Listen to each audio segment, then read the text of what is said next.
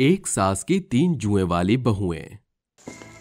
अंजलि सुबह के समय अपने दोनों हाथों से अपने सिर को खुजाते हुए अपनी माँ लक्ष्मी के पास आती है जिसके बाद वो रोते हुए अपनी माँ से कहती है। देखो ना माँ मैंने आपसे कहा था इन दोनों चुड़ैलों को मेरे पास मत सुलाओ। आपकी दोनों बेटियों की वजह से मेरे सर में जुए पड़ गई हैं। तभी कोमल नींद से उठकर बाहर आती है और कहती है अरे भला हम क्यों तेरे सर में जुए भरेंगे? तेरे सर में तो पहले से ही जुओं की खदान है खदान। कोमल ये सब कह ही रही थी कि तभी वहाँ भारती भी आ जाती है और कहती है क्या कहा? मेरे सर में जुए? माँ आप तो जानती ही हो कल ही आपने मेरे सर से सारी जुए निकाल दी थी। इन दोनों जुएंडो को मेरे पास मत सुलाया करो। मुझे तो लगता है कि मेरे सर में भी इन दोनों ने ही जुए भर दी हैं। अच्छा ये बात है। अब तुम अपनी गलतियों का सारा जिम्मा मेरे सर थोप दोगी? ऐसा नहीं होगा। अभी बताती हूँ तुम्हें। अंजलि ऐसा कहते ही भारती के बाल पकड़ लेती है। एक तरफ़ भारती और अंजलि की लड़ाई हो रही थी तो वहीं दूसरी तरफ़ कोमल भी इस लड़ाई में शामिल हो जाती है और अंजलि और भारती के बाल पकड़कर लड़ने लगती है। अपनी तीनों बेटियों को चूहे बिल्ली की तरह लड़ते हुए देख लक्ष्मी से रहा नहीं जाता और वो अपनी छड़ी उठा लेती है। अगर अब तुम तीनों जंगली चुड़ैलों की तरह लड़ती रही तो मैं तुम तीनों को अपनी इस छड़ी से मार मार कर सुझा दूँगी। वो तीनों अपनी माँ के हाथ में छड़ी देखकर हैरान रह जाती हैं और चुपचाप खड़ी हो जाती हैं। आज मैं तुम तीनों का सर साफ़ करने की कोशिश करूँगी और अगर किसी ने भी कोई बहाना बनाया तो मुझसे बुरा कोई नहीं होगा। लक्ष्मी की तीनों बेटियों को बचपन से ही जुएँ पड़ने की दिक्कत थी। वो जितनी भी कोशिश करती लेकिन उनकी तीनों बेटियों के सिर से जुए खत्म ही नहीं होती। ऐसे ही धीरे धीरे उसकी तीनों बेटियाँ बड़ी हो जाती हैं। लेकिन बड़ी होने के बाद भी स्कूल से लेकर कॉलेज तक भी उन तीनों की कोई सहेलियाँ या दोस्त नहीं बन पाती। अब वो तीनों शादी के लायक हो जाती हैं। एक दिन लक्ष्मी अपने आप से कहती है हे भगवान अगर ऐसा ही चलता रहा तो मेरी तीनों बेटियों को कोई पसंद नहीं करेगा। मैं उनकी शादी आखिर कैसे करवाऊं? तभी उसे पंडित की कॉल आती है। हाँ पंडित जी बोलिए कोई रिश्ता मिला है क्या आपको मेरी बेटियों के लिए? अरे हाँ लक्ष्मी बहन। एक ही घर के तीन लड़कों के रिश्ते तुम्हारी तीनों बेटियों के लिए आए हैं। तो कहो रिश्ता पक्का कर दूँ? लेकिन रिश्ता पक्का करने से पहले एक बात सुन लो। तुम्हें उन्हें अच्छा खासा दहेज देना पड़ेगा। अरे पंडित जी ये भी कोई पूछने वाली बात है। आप रिश्ते की बातचीत आगे को बढ़ाओ। मैं दहेज देने के लिए बिल्कुल तैयार हूँ। इतने समय से मैं अपनी बेटियों के लिए पैसा ही तो जोड़ रही थी। लक्ष्मी अपनी तीनों बेटियों की शादी में बहुत सारा दहेज देती है। और विदाई होने के समय वो अपनी तीनों बेटियों से कहती है। देखो मेरी बेटियों, तुम्हारे सर की परेशानी के बारे में तुम्हारे ससुराल वालों को पता नहीं चलना चाहिए। अगर किसी को पता चला तो तुम जानती हो ना अच्छा नहीं होगा। इस बात को अपने तक ही रखना और अपने सर का थोड़ा ध्यान रखना। अगर मैं अपनी दोनों बहनों से दूर रहूँगी तो मेरे सर में एक भी जुए नहीं पड़ेंगी।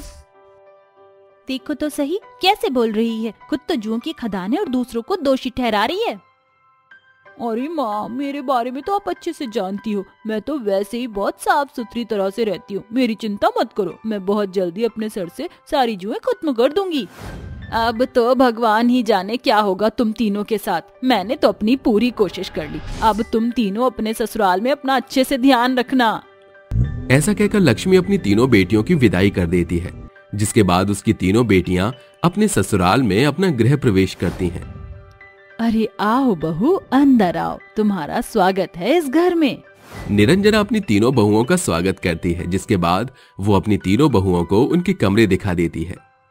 देखो तुम तीनों के ये तीनों कमरे हैं। अब तुम अपने पतियों के साथ यहाँ रहोगी। अगर कोई भी परेशानी या दिक्कत हो तो तुम मुझे बता सकती हो। नहीं माँ जी कोई परेशानी नहीं और न ही कोई दिक्कत है। ठीक है फिर मैं आराम करने जा रही हूँ। तुम तीनों भी अपने कमरों में जाकर आराम कर लो। निरंजना के कहने पर उसकी तीनों बहू अपने कमरों में चली जाती हैं और आराम करने लगती हैं। अगले दिन जैसे ही सवेरा होता है उसके तीनों बेटे नाश्ते की टेबल पर बैठे हुए अपना सिर खुजाने लगते हैं। हे भगवान ये सब क्या कर रहे हो तुम तीनों? सुबह उठते ही तुम्हारे हाथ तुम्हारे सर के अंदर है। हे भगवान ये सब देखना ही बाकी रह गया था क्या मुझे? अरे माँ अब आपको मैं क्या बताऊँ? कल रात सोने के बाद जब मैं सुबह उठा तो मेरे सिर में बहुत खुजली मचने लगी।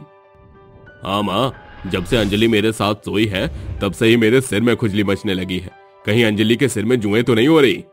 ओ अच्छा तो ये बात है। मुझे तो लगा था कि कोई मुझे एलर्जी हो गई है। अरे लगता है भारती के सिर में भी जुए हो रही है। उसके साथ सोने के बाद ही मुझे खुजली मचनी शुरू हो गई थी। ये तुम तीनों कैसी बातें कर रहे हो? बहुओं को आए हुए एक दिन नहीं हुआ और तुम उन तीनों के ऊपर इल्ज़ाम लगा रहे हो? पता नहीं दिन भर तो यहाँ से वहाँ घूमते रहते हो। कभी स्विमिंग पूल में जाते हो कभी कहीं जाते हो। क्या पता इसी वजह से तुम्हारे सर में जुए हो गई हों। निरंजना अपने बेटों की एक नहीं सुनती जिसके बाद रसोई में अंजलि भारती कोमल तीनों आपस में बातें करने लगती हैं। हे भगवान ये क्या हमारी वजह से हमारे पतियों के सर में भी जुए हो गई हैं? अरे ये सब छोड़ो। उन बेचारों को देखो तो सही अपना सर खुजा खुजा कर पागल हो गए हैं। गगन जी का तो बुरा हाल ही हो गया है। अरे मेरे पति को तो देखो बेचारे प्रदीप जी पूरा उजड़ा चमन हो गए हैं। कहीं ये अपने बालों को खुजा खुजा कर उखाड़ ना ले। वो तीनों अपने पतियों को देखकर खूब ज़ोर ज़ोर से हंसने लगती हैं। ये सब करिश्मा देख रही होती है। अरे भाभी जी ऐसा क्या हाथ मिल गया? जो इतना चहचहा रही हो? कुछ नहीं बस ऐसे ही अ, किसी बात पर हँसी आ गई। वैसे हमारी प्यारी ननद, तुमने नाश्ता नहीं किया? चलो नाश्ता कर लो। अंजलि अपने जुए वाली बात को नाश्ते वाली बात पर पर्दे की तरह डाल देती है, जिसके बाद वो करिश्मा को नाश्ता करवाने लगती है। देखते ही देखते कुछ दिन बीत जाते हैं, और अब तो प्रदीप, लकी और गगन का बहुत बुरा हाल हो जाता है। कुछ दिनों के लिए वो तीनों अपनी एक मीटिंग में घर से बाहर चले जाते हैं। जिसके चलते पहले दिन पर करिश्मा को अपनी तीनों भाभीियों के साथ सोना पड़ता है। रात हो गई है मेरी प्यारी भाभीियों। चलो सो जाते हैं। करिश्मा के कहने पर वो तीनों भी सो जाती हैं। अगले दिन जैसे ही करिश्मा नींद से उठती है उस बेचारी के सिर में भी खुजली शुरू हो जाती है। हे भगवान ये सब क्या है? मेरे सर में क्या हो रहा है? उसे कुछ समझ नहीं आता वो सीधा अपनी माँ निरंजना के पास जाती है। अगर ऐसी बात है तो मैं आज इस बात का पर्दाफाश करके ही रहूँगी।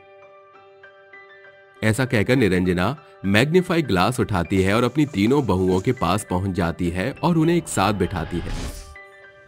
आज मैं इस बात का पता लगा कर ही रहूँगी कि आखिर तुम्हारे साथ सोने के बाद हर कोई सर में खुजाने क्यों लगता है? निरंजना जैसे ही मैग्नीफाई ग्लास से उनका सिर देखती है तो वो हैरान रह जाती है। छी छी छी हे भगवान तुम्हारे सर में तो इतनी सारी जुए हैं। ये सुनते ही वो तीनों रोने लगती हैं और रोते हुए कहती हैं। माँ जी दरअसल हम तीनों की शादी नहीं हो रही थी। गाँव का हर एक व्यक्ति जानता था कि हमें जुए होने की परेशानी है। जब से हम बड़े हुए हैं तब से ये जुए हमारे सरों पर कब्जा करके बैठी हैं। इतना कहते ही वो तीनों अपनी सास के पैरों में गिर जाती हैं और उससे माफ़ी मांगने लगती हैं जिसके चलते निरंजना कहती है। ओहो परेशान क्यों हो रही हो तुम तीनों की तीनों? तुम जानती नहीं हो कि मैं वेदों की बेटी हूँ। मुझे हर एक का अच्छा नुस्खा आता है। मैं एक ही दिन में इस घर के सभी सदस्यों के सर से जुए खत्म कर दूँगी। तुम्हें परेशान होने की कोई ज़रूरत नहीं है। निरंजन अपनी तीनों बहुओं को कुछ नहीं कहती। वो तुरंत कुछ जड़ी बूटियाँ इकट्ठा करके एक दवाई बनाती है और उस दवाई को वो अपने घर के सभी सदस्यों के सिर में लगा देती है। यहाँ तक कि अपनी तीनों बहुओं के सिरों में भी। जिसके बाद उन तीनों की जुएँ हमेशा हमेशा के लिए खत्म हो जाती हैं और वो अब खुशी खुशी अपने ससुराल में रहने लगती हैं।